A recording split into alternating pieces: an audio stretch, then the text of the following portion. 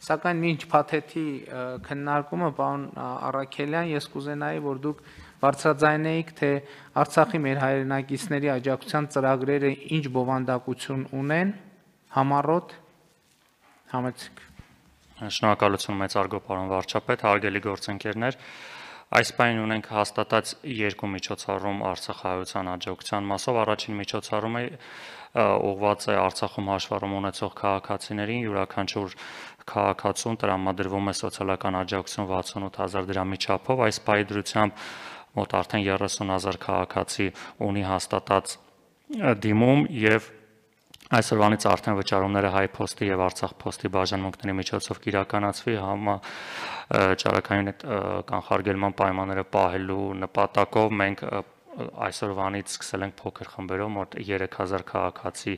առաջին օրը կստանա, հետագայում արդեն այդ հերթերի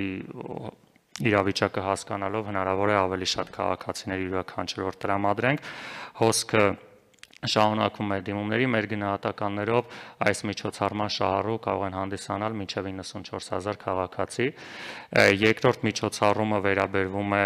Արցախի այն քաղաքացիներին, ում բնակավայրերը այս պահին գտնվում են Արցախի վերահսկողությունից դուրս, այդ քաղաքացիներին տրամադրվելու է օժանդակություն յուրաքանչյուր քաղաքացու 300.000 դրամի չափով, արդեն հաջորդ շաբաթվանից քաղաքացիները դիմումները կսկսեն էլեկտրոնային տարբերակով ներկայացնել եւ 1-2 օրվա ընթացքում յուրաքանչյուր դիմումից հետո նաեւ կսկսվի այդ գումարների վճարումը։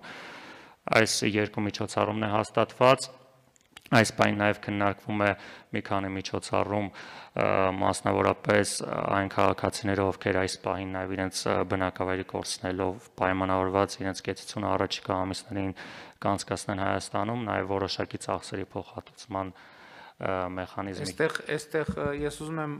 ուշադրություն հրավիրեմ երկու փաստի վրա, որ էլի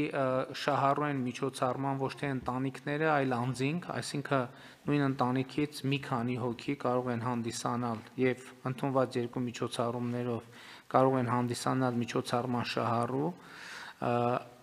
երկու միջոցառումների մասին է խոսքը եւ մենք առաջիկայում քննարկում ենք եւ կընդունենք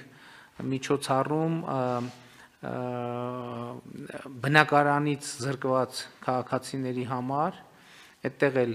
միջոցառման շահառու կլինեն ոչ թե ընտանիքները, այլ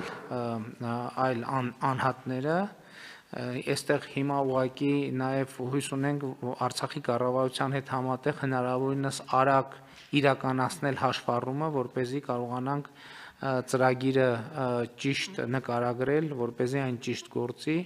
եւ առաջիկայում նաեւ այո աջակցության ծրագրեր կիրականացն կշարունակվեն իրականացնել, բայց ես ուզում եմ ասել, որ այդ ծրագրերի միտումը լինելու է այնպիսին, որ Արցախի մեր հայրենակիցները հնարավորինս շուտ վերադառնան Արցախ եւ բնակություն հաստատեն Արցախում։ Սա է լինելու մեր ծրագրերի բովանդակային ուղղվածությունը եւ բնականաբար մենք ամեն ինչ պետք է անենք այդ հարցում նրանց աջակցելու համար։